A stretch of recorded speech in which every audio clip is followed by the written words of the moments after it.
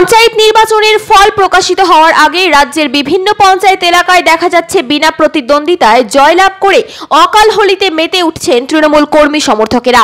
ফের সোমবার স্ক্রুটিনির শেষ দিনে ধরা পড়ল একই ছবি। জলপাইগুড়ির ক্রান্তি ব্লকের রাজাডাঙ্গা গ্রাম পঞ্চায়েত এলাকার তৃণমূল প্রার্থী মাম্পি রায় বিনা প্রতিদ্বন্দ্বিতায় জয়লাভ করতেই খুশির বাতাবরণ লক্ষ্য করা গেল কর্মী সমর্থকদের মধ্যে। পাশাপাশি মাম্পি রায়কে উত্তরীয় পরিয়ে ফুল স্তবক দিয়ে বরণ করে নেওয়া হয়। জানা গেছে, ক্রান্তি ব্লকের রাজাডাঙ্গা গ্রাম পঞ্চায়েত এলাকার কুড়ি বাই একশো উনসত্তর নম্বর বুথে তৃণমূল প্রার্থী মাম্পি রায় ছাড়া আর কোনো বিরোধী দলের পক্ষ থেকে নমিনেশন জমা পড়েনি। এদিন স্ক্রুটিনির পর একথা জানতে পাওয়ার পরে খুশিতে মাতোয়ারা হয়ে ওঠেন ওই এলাকার তৃণমূল কর্মী সমর্থকেরা।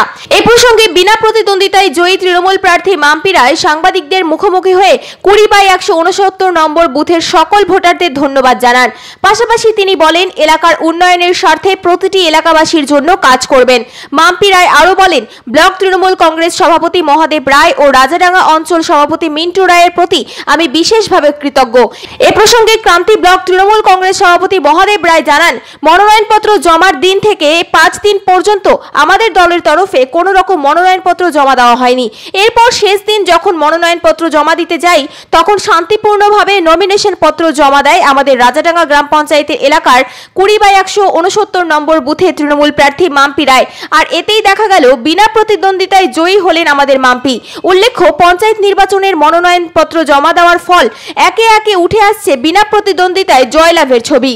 আর এতে বেশিরভাগ ক্ষেত্রে দেখা যাচ্ছে বিনা প্রতিদ্বন্দ্বিতায় জয়লাভ করছে তৃণমূল প্রার্থীরা। ঠিক যেমন রবিবারও জলপাইগুড়িতে দেখা গিয়েছিল একই ছবি। জলপাইগুড়ি সদর ব্লকের পাতকাটা গ্রাম পঞ্চায়েতের অন্তর্গত রায়পুর চা বাগানের শ্রমিক মহল্লা মেতে উঠেছিল অকাল হোলিতে।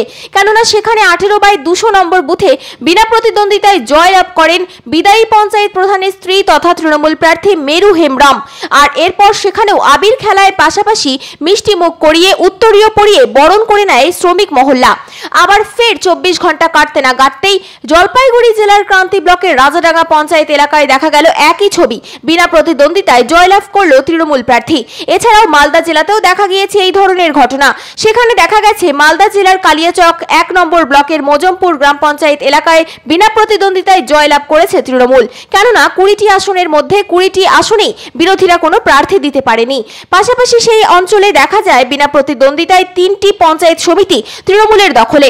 তবে এ বিষয়ে রাজনৈতিক মহলের ধারণা, এলাকা থেকে এভাবে বিনা প্রতিদ্বন্দ্বিতায় তৃণমূলের জয়লাভে কিছুটা হলেও মনোবল ভেঙে পড়বে বিরোধী দলগুলোর। ভালো লাগছে। চার দিন ধরে নমিনেশন চলল। আমরা দুদিন নমিনেশন করেছি তৃণমূল কংগ্রেসের পক্ষ থেকে। সেখানেও দেখা গেল তারা সেখানে কোনো প্রার্থী খুঁজে পেল না। ফলে আমরা সেখানে আমাদের কোনো বিনা প্রতিদ্বন্দ্বিতায় ওখানে আমাদের জয়ী হবে। কারণ সময়ের অপেক্ষা শুধু।